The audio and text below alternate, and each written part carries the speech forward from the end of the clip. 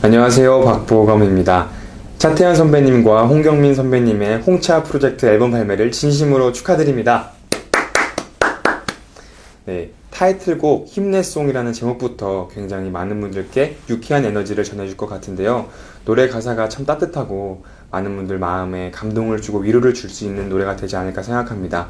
이 노래를 들으시고 모든 분들이 힘을 내셨으면 좋겠고요. 저도 함께 홍차 프로젝트 응원하겠습니다. 여러분들의 많은 관심과 사랑 부탁드립니다. 홍차 프로젝트 화이팅!